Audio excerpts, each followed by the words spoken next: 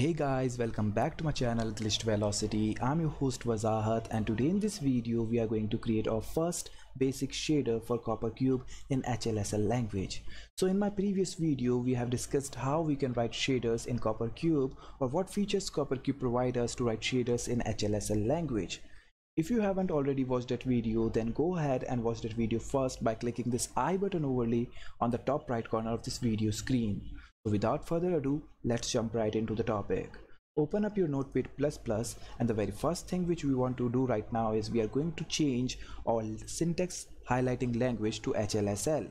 So go ahead and click this language button here and select HLSL as your syntax highlighting language and what kind of shader which we are going to create? So we are going to create a basic shader which does pretty much nothing but changes color of an object according to our needs. And the very first line of code which we are going to write is a javascript variable. So i'm going to write var var vertex shader. And what this variable does is it tells Coppercube that whatever value this variable is holding is our vertex program or our vertex shader.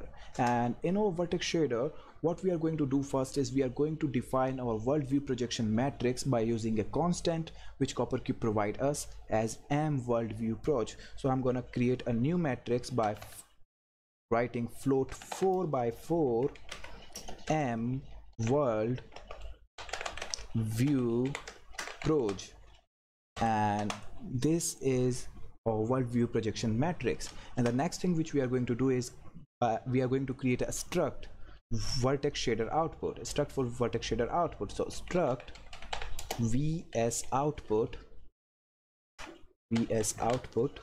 Oops i made a mistake here. And the struct so struct vs output and then we're gonna we know that we are going to output our position to our fragment shader. So we're gonna define a new float 4 value position here. So float 4 position and we are going to put it into our position slot. So float 4 position will go in our position slot. So float 4 position will go in our position slot. And then we are going to create our vertex shader output main function. So vs output main and it holds our incoming vertex position from the application. So in float 4 so in float 4 v position which is our vertex position. So v position. And we are going to put it into our position slot. So that's it. And now we are going to define our output output function vertex shader output function. So vs output output. And then we are going to output our position this position to our fragment shader by multiplying our incoming position with our world view projection matrix. So output dot position will be equal to mul which is an intrinsic HLSL function to multiply two objects or values. So we are going to multiply v position which is our incoming position from the application with our world view projection matrix. So m world view proj. And then we are going re to return this output. So return output. And that's it. We have come successfully written our vertex shader. And now we are going to write our fragment shader. So we need to create another javascript variable. So var fragment shader. My typing speed is a little bit slow so please don't mind it. Var fragment shader. And what this variable does is it tells whatever value this variable is holding is our pixel shader code or our fragment shader. And in this variable fragment shader or you can say in our pixel shader code the first thing which we are going to write is our struct for pixel shader output. So struct ps output. So struct ps output is our structure for our pixel shader output. And we know that we are going to change the color for object. So we are going to output the color. So i'm going to create a new float 4 value. You also know that color is a float 4 value. So float 4 color and we are going to put into color 0 slot. So color will go in our color 0 slot. And then we are going to define our pixel shader output main function. So ps output main. And then we are going to use incoming v position or you can say incoming position from our vertex shader in this main function of pixel shader output. So we are going to create or define float 4 position which will be coming from our position slot. So position. And then we are going to define our pixel shader output output function. So ps output output. And then we are going to do our calculation or maths in this function. So we know that we are going to output our color so we need to define a value for our color. So we need to define red green blue and alpha value for a color. So i'm going to create a new float 4 value.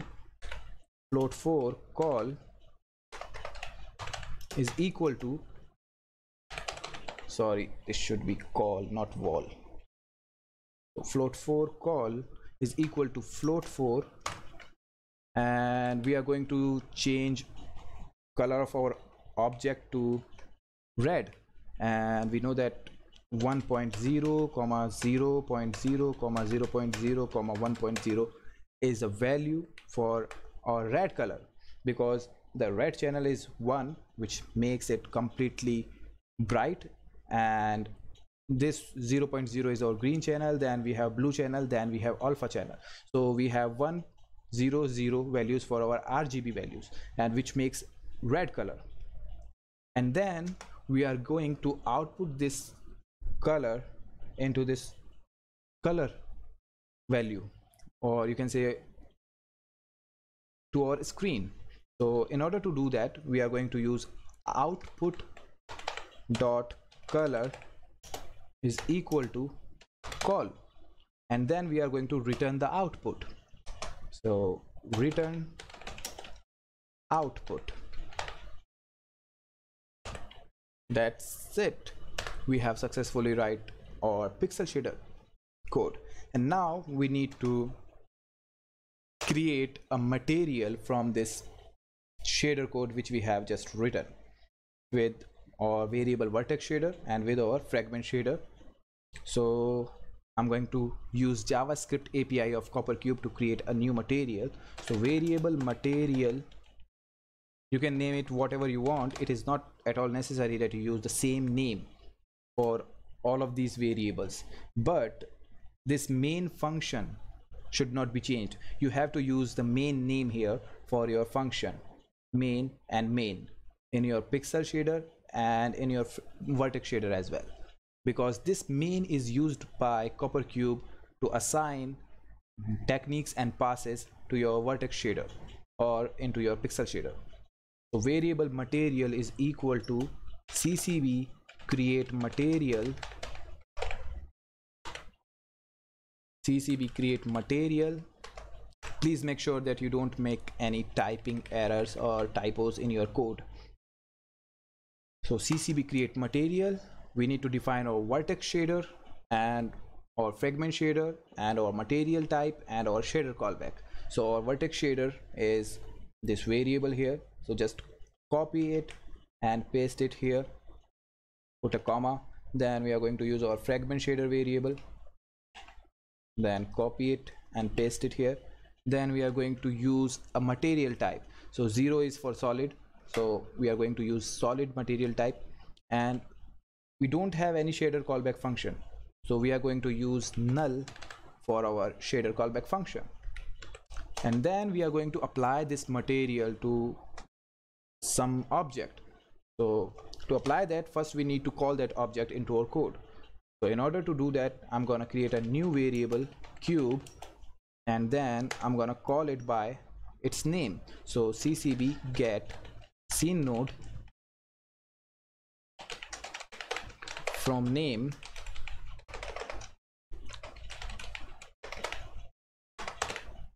and we know that the name of our cube mesh is cube mesh 1 so cube mesh 1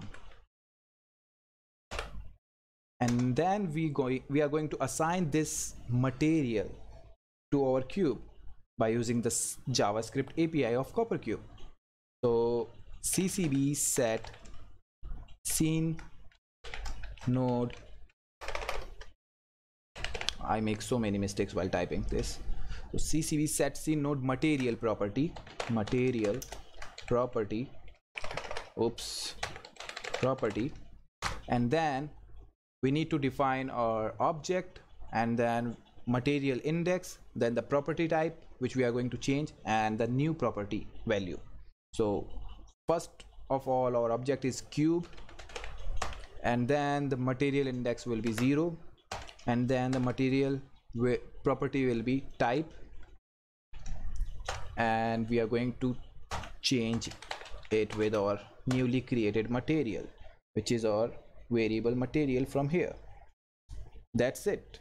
We have successfully created our first shader code but it will not work in your application until or unless you stringify or convert these HLSL code in this variable vertex shader and in this variable fragment shader into strings so now we are going to convert them into strings by going over here and holding down alt shift and down arrow key till here and then use quotes and then we are going to do the same for new line segments. I'm gonna hold down alt shift and down arrow key till here and then right arrow key and then I'm gonna use uh, n oops I made a mistake. So what I'm gonna do? And then n and then quotes and then plus. And make sure this semicolon appear as black not as gray so that you know that your string ends here. And then do the same for fragment shader. Hold down alt shift till here put quotes then do the new line new string segment here. Hold on alt shift down arrow key till here and use quotes plus.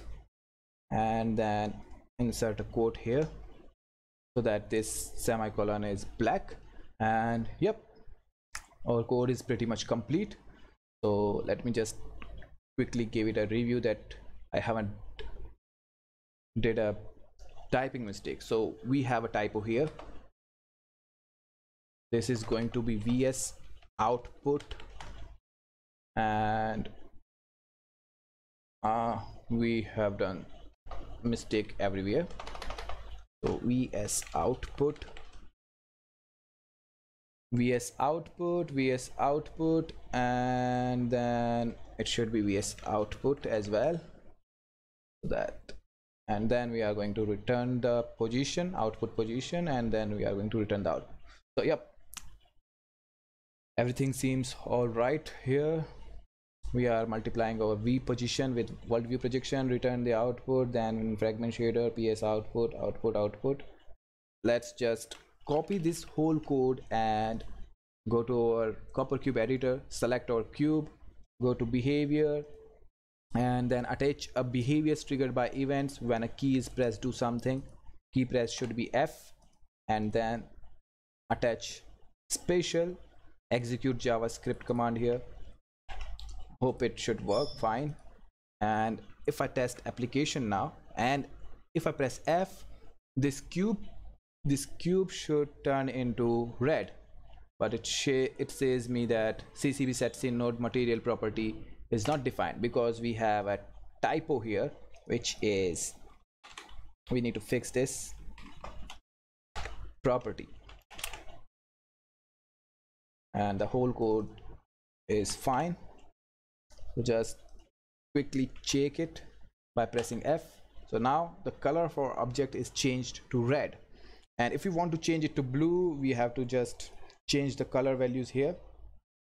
Change it from 0.0 and change the blue value to 1.0 and then again copy this and paste it in our action javascript action.